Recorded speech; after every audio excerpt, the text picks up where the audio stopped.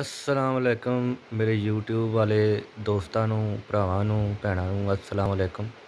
ਜਨਾਬ, ਆ ਮੈਂ ਵੀਡੀਓ ਆਪਣੇ ਉਹਨਾਂ ਦੋਸਤਾਂ ਵਾਸਤੇ ਬਣਾ ਰਿਹਾ ਵਾਂ ਕਿ ਜਿਨ੍ਹਾਂ ਨੇ ਆਪਣੇ ਘਰਾਂ 'ਚ DC ਫੈਨ ਲਾਇਆ ਵਾ ਇਸ ਤਰ੍ਹਾਂ ਦਾ ਤੇ ਉਹਨਾਂ ਦੀ ਸਪੀਡ ਜਿਹੜੀ ਆ ਬਹੁਤ ਘੱਟ ਵਾ ਤੇ ਉਹਨਾਂ ਨੂੰ ਮਜ਼ਾ ਨਹੀਂ ਆ ਰਿਹਾ, ਹਵਾ ਨਹੀਂ ਆ ਰਹੀ ਜਿਸ ਤਰ੍ਹਾਂ ਦੀ ਦੂਸਰੇ ਆਮ ਪੱਖੀਆਂ ਦੀ ਆਉਂਦੀ ਆ।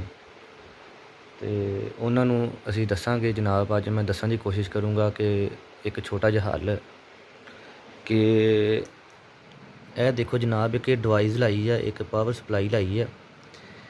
ਇਹ ਆਪਣੀ 220 ਵੋਲਟ ਇਹਨਾਂ ਨੂੰ ਦਿੱਤਾ ਹੋਇਆ ਮੈਂ, ਇਹ ਦੇਖੋ। 220 ਵੋਲਟ ਦਾ ਕਰੰਟ ਦਿੱਤਾ ਤੇ ਅੱਗੇ ਇਹਨੂੰ ਇੱਕ ਇਹ ਇੱਕ ਵੈਰੀਏਬਲ ਲੱਗੀ ਹੋਈ ਆ। ਇੱਥੋਂ ਅਸੀਂ ਇਹਨੂੰ 12 ਵੋਲਟ ਤੋਂ ਲੈ ਕੇ ਤੇ 20 ਵੋਲਟ ਤੱਕ ਦਾ ਕਰੰਟ ਦੇ ਸਕਦੇ ਹਾਂ। ਠੀਕ ਹੋ ਗਿਆ ਜਨਾਬ, ਤੇ ਇਹਨੂੰ ਜਦੋਂ ਆਮ ਪਾਵਰ ਸਪਲਾਈ ਜਿਹੜੀ ਆ ਉਹ ਕਰੰਟ ਦਿੰਦੀ ਹੈਗੀ ਆ 12 ਵੋਲਟ ਤੋਂ ਲੈ ਕੇ 14 ਵੋਲਟ ਤੱਕ, ਠੀਕ ਹੋ ਗਿਆ। ਤੇ ਉਹਦੇ ਨਾਲ ਪੱਖੇ ਦੀ ਸਪੀਡ ਕੋਈ ਨਹੀਂ ਆਉਂਦੀ ਹੈਗੀ। ਪੱਖਾ ਬਹੁਤ ਸਲੋ ਚੱਲਦਾ। ਤੇ ਇਹ ਵਾਲੀ ਪਾਵਰ ਸਪਲਾਈ 20 ਵੋਲਟ ਤੱਕ ਦਾ ਕਰੰਟ ਦਿੰਦੀ ਹੈ, ਠੀਕ ਹੈ। ਤੇ ਇਹਦੇ ਨਾਲ ਪੱਖੇ ਦੀ ਸਪੀਡ ਬਹੁਤ ਜ਼ਿਆਦਾ ਹਾਈ ਸਪੀਡ ਤੁਹਾਨੂੰ ਮਿਲੇਗੀ।